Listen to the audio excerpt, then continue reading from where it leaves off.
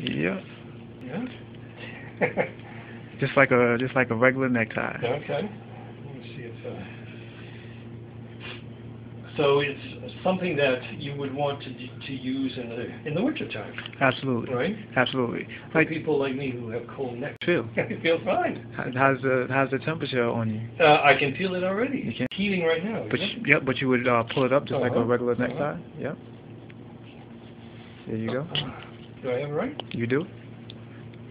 But um, if you if you were to say how it would be a benefit, how would you what would you say Uh, about that? well, I think for me, it's uh, it would be beneficial in that I do find that the part of me that gets cold the fastest in the summertime, I mean the wintertime, Yes, is sir. my neck and my head. Absolutely. The heated tie, Philip Morrow, presented to you. Okay, fully uh, mechanical. Four different settings, as you can see.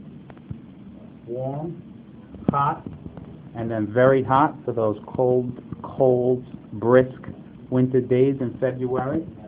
You set it on your desired temperature, you put it on like a regular tie, and guess what, folks? That's it. You don't have to worry about wearing the scarves, those bulky scarves.